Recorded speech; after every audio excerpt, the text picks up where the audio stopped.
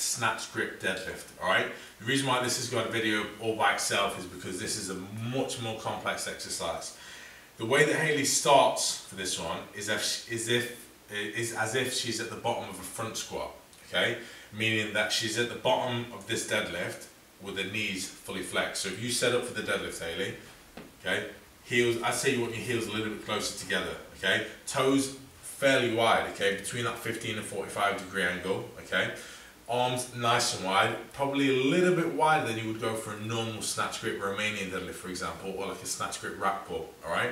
Um, from there, she's gonna force her knees out, engage her glutes, chest nice and high, so everything in her body now should be screaming at her saying, stand the fuck up, okay? And I want you to do just that. So stand up, Haley, pull the bar back, across your shins, across your thighs, nice and high to your hips, yeah, perfect. And then again on the way down, sliding past your thighs, and then boom, drops down as soon as she gets past cool, stand up from there. Cool. So you're going to find that if you're struggling with your um, flexibility, the mobility in your ankle or your calf, you will struggle with this one, alright?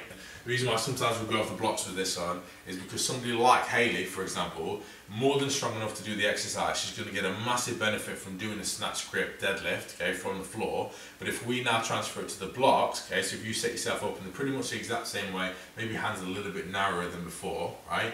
If we set Hayley up on the blocks, what she's going to what she's not going to have to do is have as much mobility or flexibility in her calf to get in that bottom position, all right? So it's just less of a squat at the bottom of that position. So come down with your bum a little bit more if you can. Knees out, hands a tiny bit wider, especially that left foot. Yeah, perfect, cool. Chest up and pull up from there. So shins, thighs, hips, yeah, checking in with the bar, slide it down your thighs, slide, slide down your shins, cool.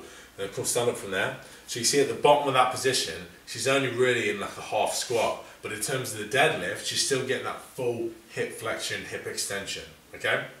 Cool.